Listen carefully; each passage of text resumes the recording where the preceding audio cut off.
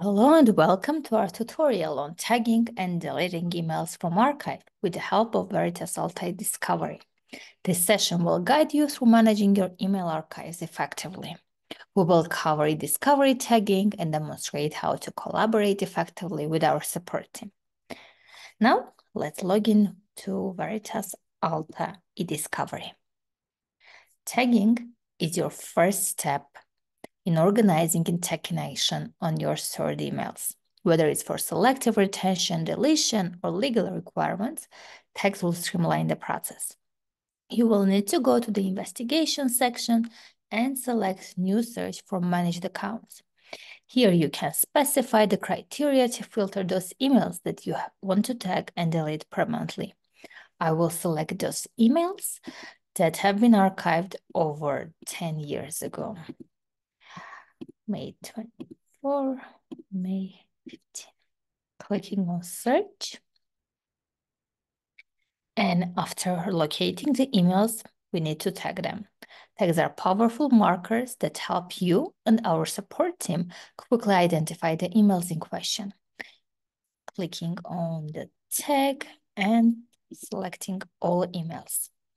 Now, all you need to do is to enter a name, and save your changes by clicking on tag. Once emails are tagged, you will need to reach out for support.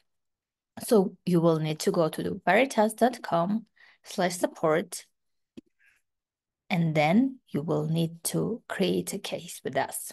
Clicking on create case, you will need to log in and then create a case.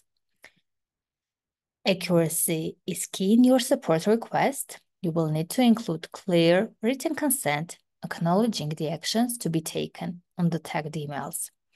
Remember, depending on your selections, these actions can be permanent.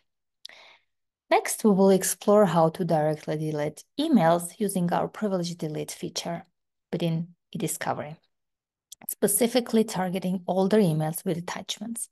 This allows you to manage your archives efficiently without needing to involve our support team. So returning to Veritas Alta eDiscovery, and I will need the new criterion for the attachment in the search as attachment, yes, search. Once you have applied your filters, the system will display a list of emails that meet your criteria. You will need to carefully review these emails to ensure they are eligible for deletion. Due to system constraints and to maintain operational integrity, you can delete up to 300 emails per request. After selecting the emails, let's select a few, you will be able to delete them by clicking on the delete button. Please be care careful when doing this because this action is permanent and cannot be undone. So make sure you have reviewed all selected emails thoroughly before proceeding. If you have more than 300 emails that meet the deletion criteria, you will need to repeat this process in batches. This method ensures accuracy and allows for careful management of your email archives. Now let's discuss emails that are on legal hold.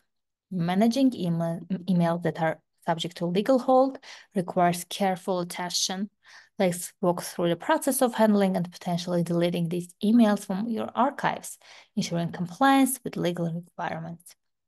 To begin, let's go to the eDiscovery dashboard. Here you can identify emails currently under legal hold by navigating to the legal hold section and quickly click on the legal button and legal hold button and you now can view and manage these emails that are currently subject to legal hold. These emails cannot be altered or deleted without proper authorization. If an email status changes and it can be removed from legal hold, you can update or remove the tag directly from this dashboard. Should you need to delete emails that are no longer required to be held, first ensure you have the necessary legal permissions. After confirming, select the appropriate emails and update their tags. Remove the legal hold to reflect uh, the new status. Now you can move on and proceed with the deletion process through our support team or through Privilege Delete. And that's it. You now know how to delete emails through eDiscovery, both with the help of our support team and also through Privilege Delete feature on your own. Thank you for watching. And if you have any further questions or need any more guidance, our support team is ready to help. Thank you for watching. Bye.